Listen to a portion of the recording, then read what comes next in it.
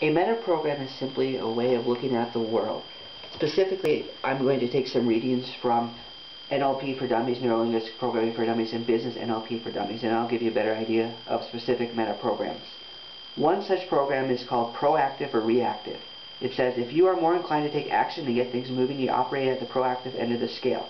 If, however, you are inclined to take stock and wait for things to happen, you are probably more reactive. Westboro Baptist Church, despite what you think of their ideas, they're definitely active. They're picketing all over the place. They're taking action. Fred Phelps didn't like Gage Park, so he took action. He made a campaign that has mushroomed into this humongous thing.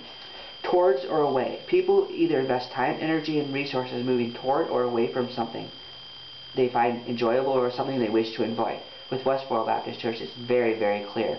They are definitely of and away from meta program.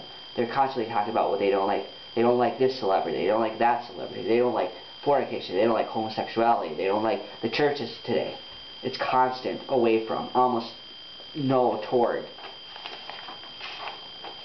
Another meta program is options or procedures. This one is a little more challenging to figure out what they are, but I do have a tentative answer. If you are more of an options person, you enjoy trying out new ways of doing things. As a procedures person, you will display a preference for following set methodologies.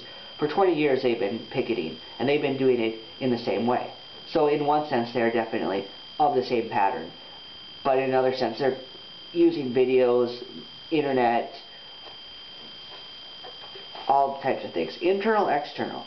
If you trust your judgment when it comes to making decisions or knowing you have done a good job, you operate at the internal end of the scale for this meta program. If you need feedback from other people to know how well you have done, you probably have more of an external preference. Sometimes it's a very good thing if you don't care what people think. It's a strong, sign of a strong person. The Westboro Baptist Church takes it to the extreme. They don't care what people think. It could be better if they did care what people think.